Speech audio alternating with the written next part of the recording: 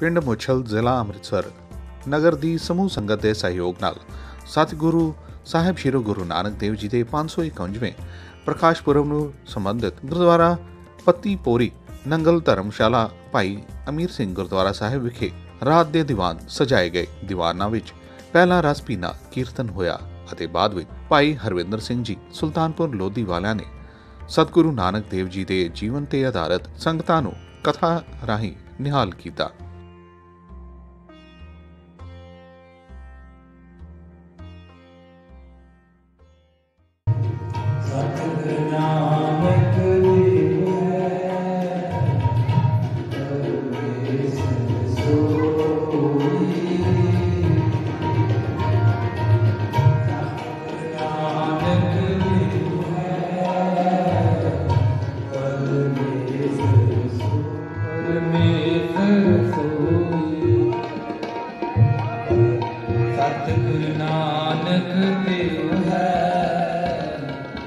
God